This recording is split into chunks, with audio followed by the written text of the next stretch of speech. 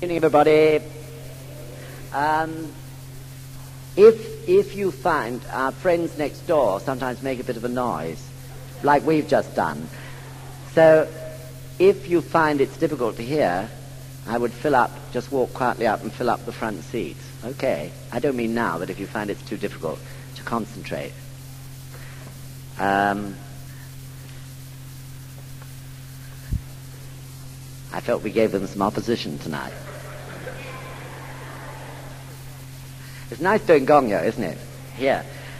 And you really notice the moment I came in and people were chanting Daimoku, I thought how much more friendly this hall seemed, doesn't it? Films, it fills it with a sort of warmth. So tonight, as you can see from the diagrams, which uh, have been beautifully done, uh,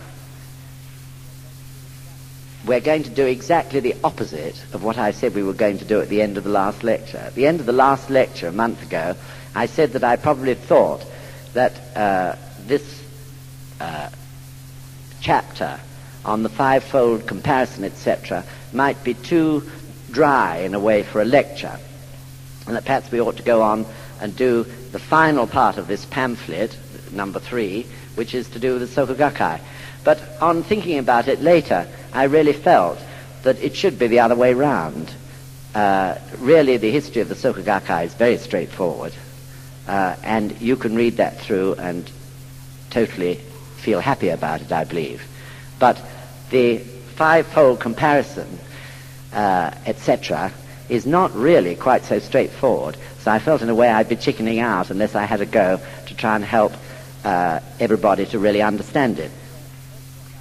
So the first point I'd like to make tonight is that uh, this lecture that I'm going to give is really concerned with Nichiren Shoshu doctrine. And this study manual, quite naturally, since it's meant for followers of Nichiren Shoshu Buddhism, is looking at these doctrines from the religious, the religious aspect. It's not in any sense looking at this doctrine from an academic sense. So if by any chance there are any guests here uh, who prefer to view things academically, at any rate uh, in their first approach to Buddhism, uh, I really hope they'll contact their friend afterwards and we'll have to, to uh, perhaps talk individually uh, to them. Maybe they could come to the Richmond Center and we can explain. But this is very much from the religious aspect. In other words, I'm not going to be quoting many, many sutras and references and so on. So I hope you understand that, any guests who are here tonight. So we're going to tackle, first, first of all, uh, the fivefold comparison. And this is a system of thinking or an approach in order to prove conclusively the validity of Nichiren Daishonin's teachings. And it's on this diagram over here, the five-fold comparison.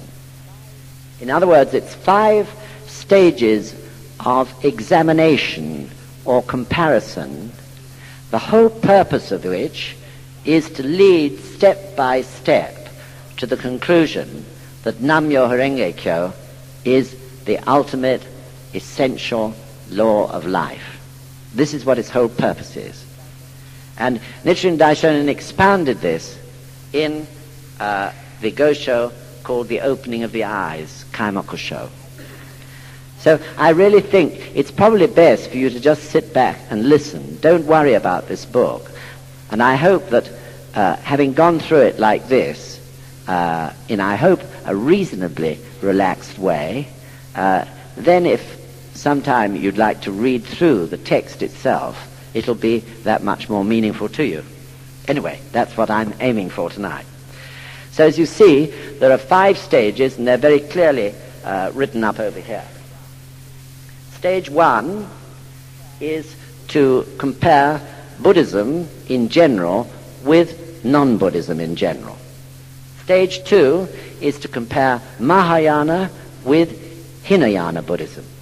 Stage three is to compare what we know as the true teachings, which is the Lotus Sutra, with the provisional teachings that went before the Lotus Sutra.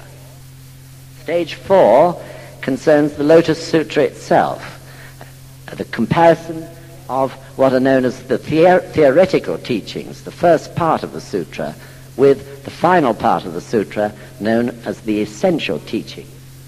And finally, the comparison of the Buddhism of the sowing, which was Nichiren Daishonin's Buddhism, with the Buddhism of the harvest, which was Shakyamuni's Buddhism.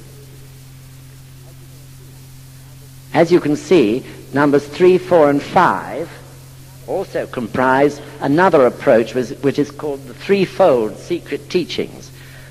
but we'll come to those briefly a little later on. The first thing is to really master this method of approach to prove the essence of Nichiren Daishonin's teachings. In other words, Nam-myoho Renge Kyo of the three great secret laws. So, uh, in the opening of the eyes, Nichiren Daishonin said as follows, of all Shakyamuni's lifetime teachings, the true doctrine of Ichinen Sanzen, or the mystic law, the seed of Buddhahood for the common people since time without beginning, lies only in the Lotus Sutra. Of the entire Lotus Sutra, it is only in the Juryo chapter of the essential teaching. Of the latter, it is only hidden in the depths. Hence, Ichinen Sanzen hidden in the depths. So even there, in a brief sort of summary, Nichiren Daishonin is talking about these five comparisons. So I think that it, although it may seem to be starting the wrong way round, I would just like to say something about two points before we get into the actual uh, fivefold comparison itself. The first one contains its ultimate or last uh, stage, which is the comparison of the Buddhism of the sowing and the Buddhism of the harvest. The Buddhism of Shakyamuni is known as the Buddhism of the harvest because those who attain Buddhahood through his teachings and specifically through the Lotus Sutra which he taught in his last eight years, had approached enlightenment in a very, very gradual way over many, many, many, many lifetimes. Shakyamuni himself made that clear later when he said that he also had been taught and had practiced bodhisattva for austerities. So it was a question of elevating the state of your life lifetime after lifetime over eons. Sometimes people slip back and had to start again, rather like snakes and ladders. There are many uh, references to this in the teachings of Shakyamuni. For example, he's often quoting how in this lifetime and that lifetime this and that happened to him. In the stories which he described his various teachings with, he refers constantly to practice in previous lives in the form of bodhisattva austerities. So these were the steps which these followers took over eons. So in other words, the seed of Buddhahood was sown in the disciples of Shakyamuni, the followers of Shakyamuni, eons and eons before. And this seed then had to mature and grow and develop until finally it could be harvested. And Shakyamuni himself, as their master or teacher, appeared again in that lifetime in order to reap the harvest. So this, of course, is totally different from the Buddhism of the sowing. The Buddhism of the saying, Nichiren Daishonin's Buddhism, carries out all the stages of sowing the seed, maturing, growing, maturing and developing it, and reaping the harvest in one lifetime. And it is this which Shakyamuni referred to as being essential to the age of Mappo in which we live. The age of Mappo when the people are filled with the three poisons.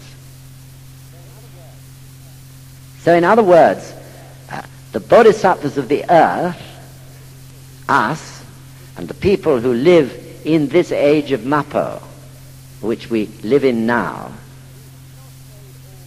we have not made all those causes lifetime after lifetime in the same way as Shakyamuni Buddha's disciples have.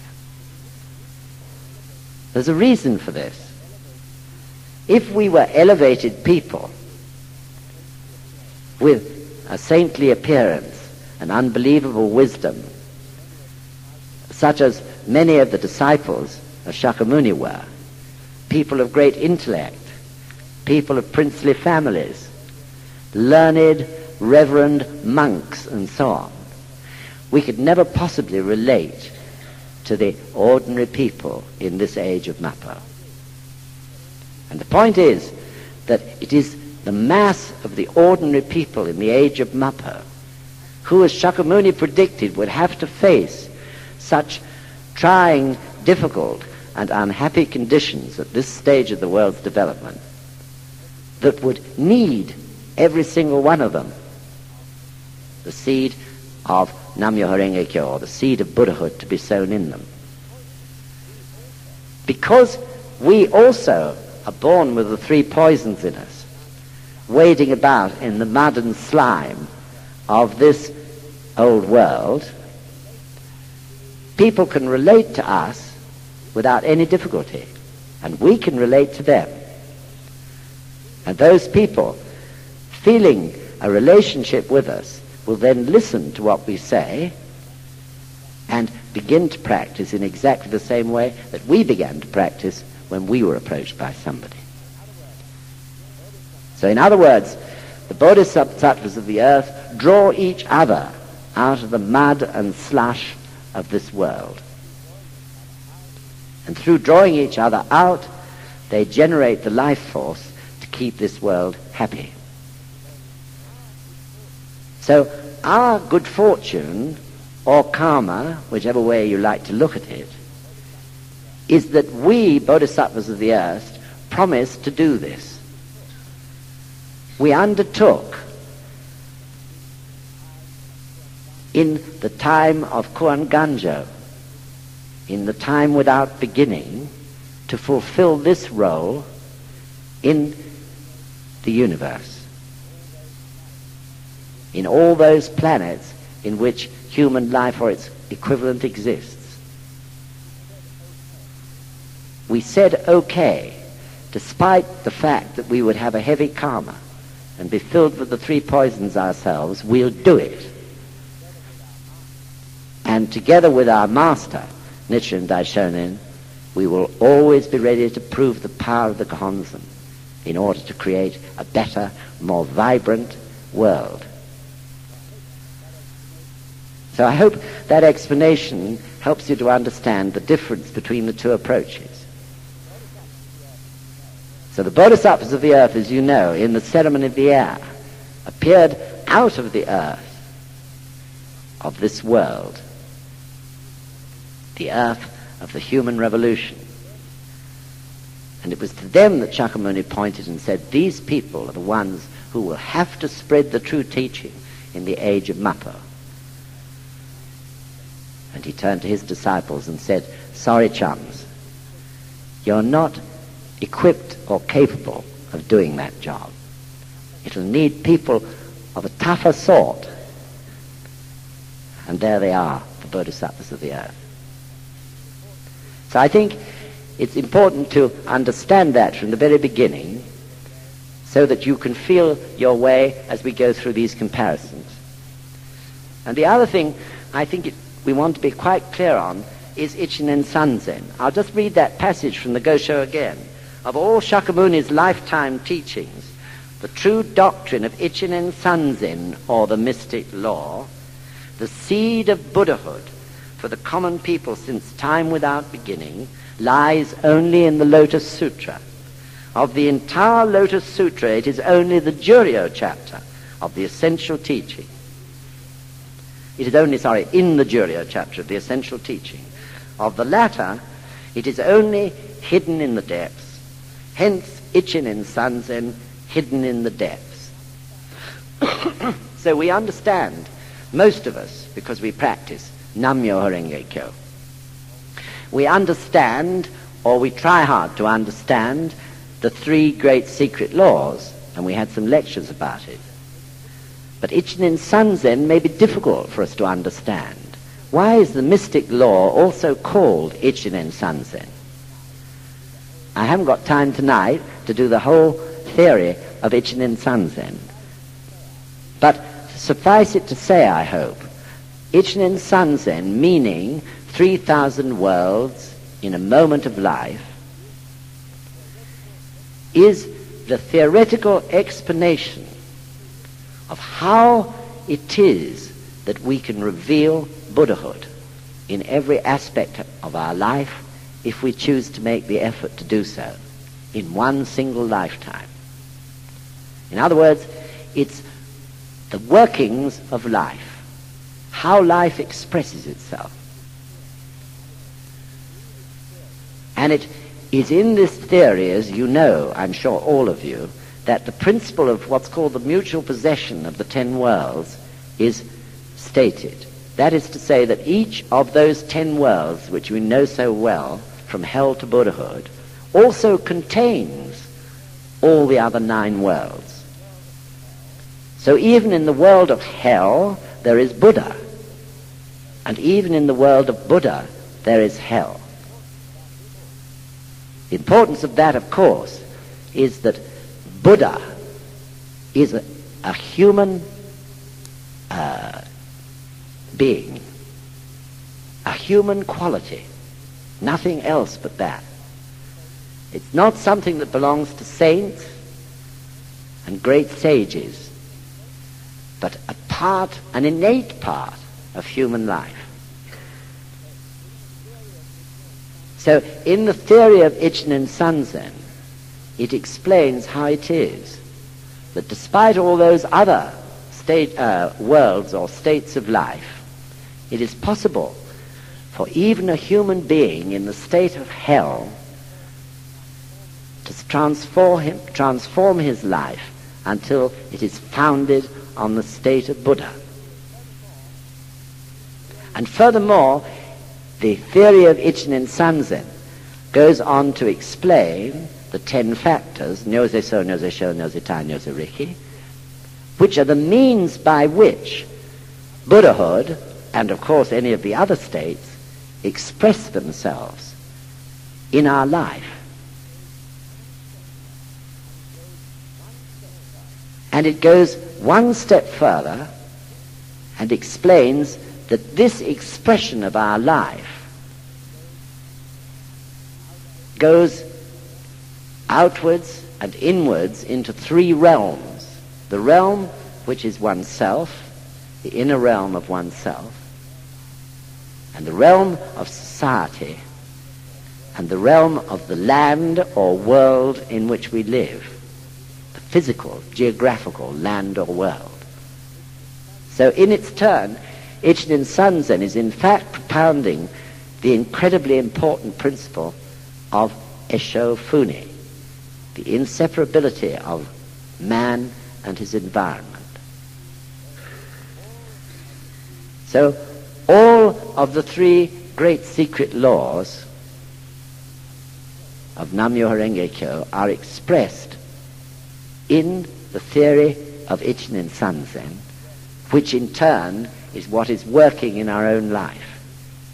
This is why the mystic law and Ichinen Sanzen are one. The mystic law is the law of life. And Ichinen Sanzen, 3,000 worlds in a moment of, of existence, is the theory which explains that law.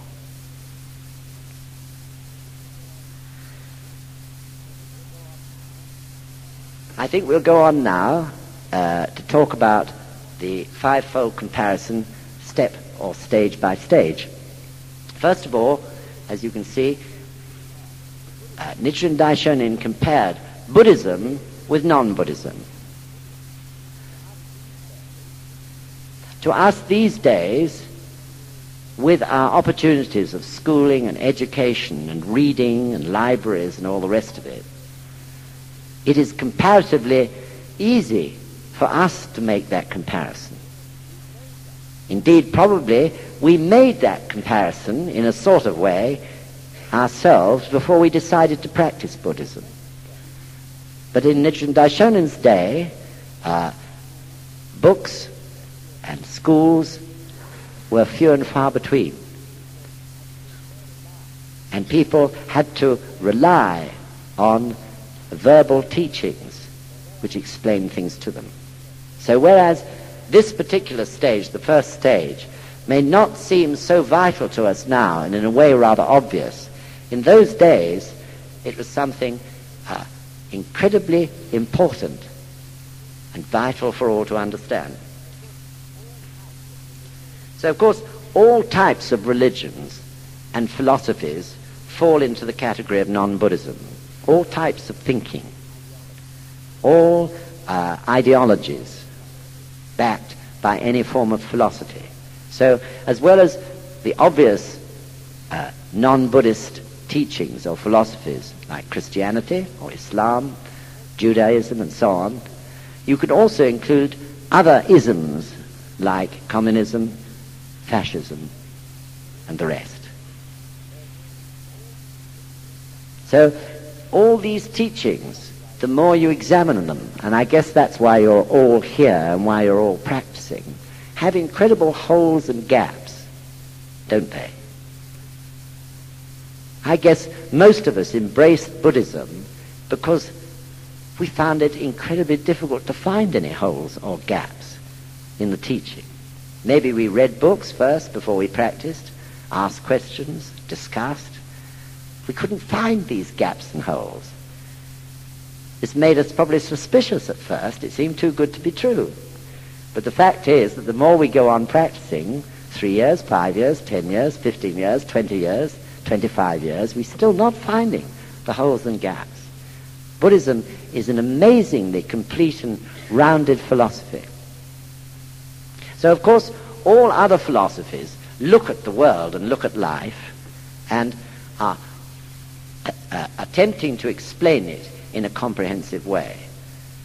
But in fact, and I hope that I don't sound arrogant in saying this, but the facts are that when you've practiced Buddhism and you know something about the Buddhist philosophy, and you perhaps go back and look at another philosophy, the incompleteness of it becomes very apparent. It's only part of the story of life, isn't it?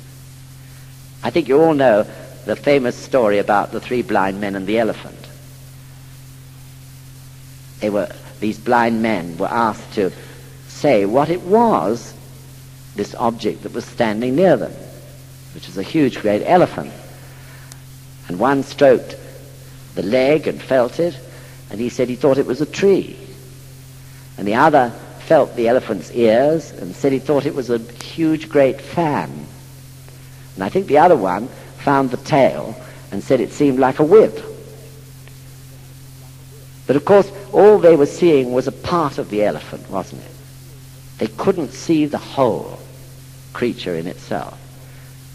And the more one uh, goes on studying Buddhism and at the same time thinking back to other philosophies, one had learnt about or even reading them again, the more you find that in fact it's only a part of life and life's problems that those philosophies are covering. I mean, in a way, some of them would be rather like uh, a foreigner coming to England on Easter bank holiday and going to Southend and seeing 300 wild young men beating the place up and imagining that the whole of England was just like that. That was their first view of England. Maybe when we first started to read books of deep interest, philosophical books, We felt fantastic, you know. But in fact, it was only a part of it, just like Southend is only, thank goodness, a small corner of England. Nice place as Southend is.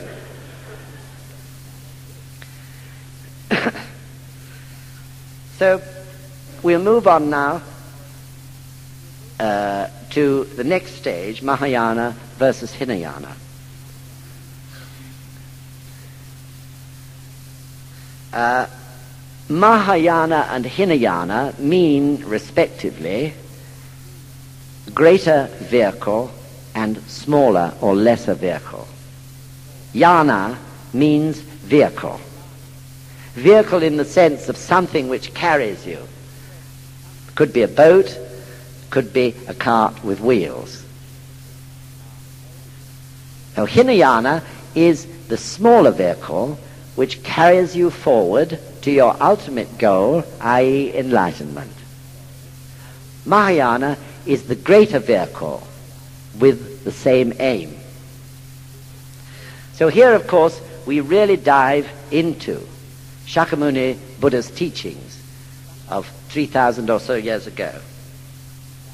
And I think it's very difficult, Kazuo Fujii was saying this the other day at a lecture, to really understand what an incredible impact Shakyamuni's teachings had in his day and age.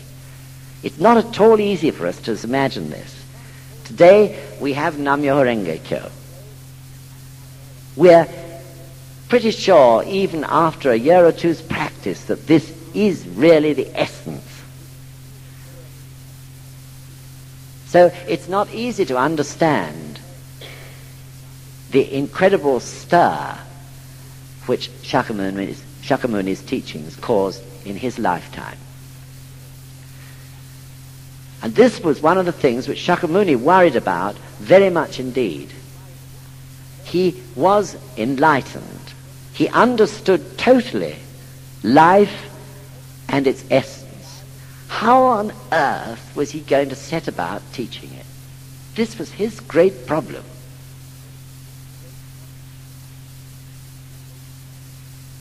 So he thought and thought, I'm sure, of this. And he decided First of all, to create a great stir. We don't know, of course, whether he did that intentionally in order to attract the maximum amount of attention, or whether, which is much more likely, he did it to sort of whet people's appetites. To sort of say, look, you won't understand a word of this, but this is what you can understand if you follow what I'm going to teach. So his first teaching was very high indeed in the realm of uh, provisional Mahayana Buddhism. Then he went back to basics and began to teach what are now known as the Hinayana Sutras. Very fundamental, very simple, taking little bit by little bit of life and explaining it. For example, he propounded the ten worlds, but not as the ten worlds as we know it. He took each world and he probably taught about that world over and over and over again, one of them only. And then at some point he started to talk about the next world over and over and over again. Examples and explanations and so on. And all the time, he was concerned about how he was going to reach that ultimate teaching, which he finally called the Lotus Sutra, or Myoho Renge Kyo. So actually, every day in Gongyo, you are remembering this struggle which Shakyamuni undertook. At the end of the Jigage chapter, the last few lines, the narrow bit. You all know it so well. Maiji sa senen igario shujo tokunyumojo do sokujo jubushin. We repeat it so many times each day, don't we? Five times in morning gongyo, three times in evening gongyo, eight times a day. And that means This is my constant thought. How can I cause all living beings to gain entry to the highest way and quickly attain Buddhahood? This is my constant thought. How can I cause all living beings to gain entry to the highest way and quickly attain Buddhahood? I remember Sensei saying whenever he recites those few lines, he feels so grateful to the Buddhas who have brought through their efforts Nam-myoho Renge Kyo and the Gohonzon to us today. So of course, when we do Gongyo and we recite those words, we're not only praising Shakyamuni.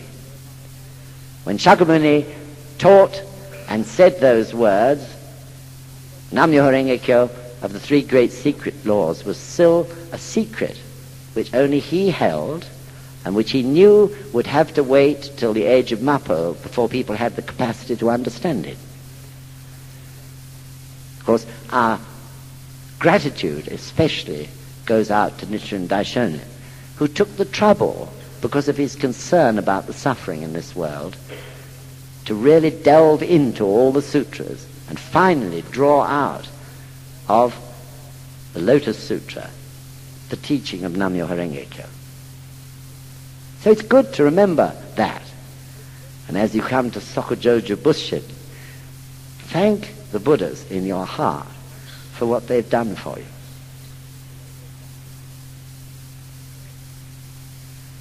So uh, Hinayana, as I said, uh, went back to basics, to a lot of precepts, a code of living in which Shakyamuni tried to elevate the lives of his followers. It was very difficult to practice the Hinayana teachings really correctly. Peasants in the fields were not intelligent enough. Merchants who had to keep their shops open and, and look after their sales and order their stock wouldn't have had the time to do it. There were 250 stages, precepts, for men, and 550, I think it was, for women. I'm not commenting on that. so really, the Hinayana teachings, so far as correct, complete, full practice was concerned, was only possible for dedicated people who segregated themselves from the world, in, such as monks, to rich people who had the leisure time to study Buddhism to its very depths and to scholars of high intellect. So in no sense is Hinayana Buddhism a Buddhism for the ordinary people. Hinayana Buddhism, of course, exists to this day in Southeast Asia especially, in various other parts of the world. And still they're following the strict Hinayana teachings. But still it's only the monks and other followers or scholars who can truly practice Hinayana Buddhism. Other people can play with it or even sincerely try bits of it, but they can't possibly carry out the whole practice if they're at the same time going to continue with their normal, normal daily life in this world. So it was this fact that Hinayana was open to so few that led uh, the people, especially those who were versed in Buddhism with great compassion for the ordinary suffering people, to develop far more, after Shakyamuni's death, the teachings of what are known as provisional Mahayana, the early teachings of the greater vehicle. Now, after Shakyamuni's death, more and more people began to follow the flow of the greater vehicle. So, the Mahayana teachings are essentially based on practice for oneself and practice for others. they were essentially concerned with the suffering of ordinary people. Whereas Hinayana Buddhism was really concerned with the enlightenment of the elite or the few. So in the days after Shakyamuni died, Mahayana, uh, Mahayana Buddhism had many, many great leaders. You know their names, you see them crop up from time to time in articles about Buddhism, people like Vasubandhu, Nagarjuna, and so on. These were the people whose concern was with the people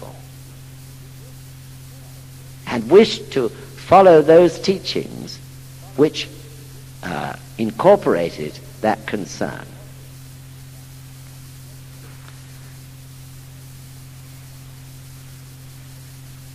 So Hinayana Buddhism basically is concerned with eliminating one's desires.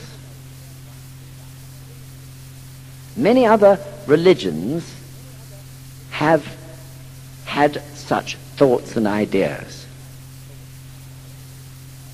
Desires are always the problem, therefore there must be a way to get rid of them altogether. And this is what developed out of those earlier teachings of Shakyamuni, who was in fact trying to teach people just to control their desires. But gradually, over hundreds and hundreds of years, this developed into the idea of removing your desires altogether. Course, today, in the light of what Nichiren and Daishonin taught, we know this is absolutely impossible. Even in the Lotus Sutra, Shakyamuni himself did not continue to support such an idea. But still, due to perhaps human conservatism, lack of communication and so on, still, still there are human beings, you know, who are really struggling to rid themselves of their desires. So Nichiren Daishonin's Buddhism and indeed, the Lotus Sutra teaches that desires are an inevitable part of life. Not only are they a part of life, but a very important part of life. Without desires, it would be very difficult to make this world tick as it should do. Desires are the driving force of life.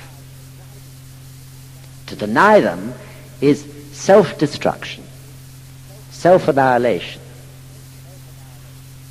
This is easy to understand now in the light of what we know, but of course not easy to understand in those days. So people went on and on in their practices, trying to rid themselves of desire. And those who were not properly instructed would suffer incredibly from such a thing.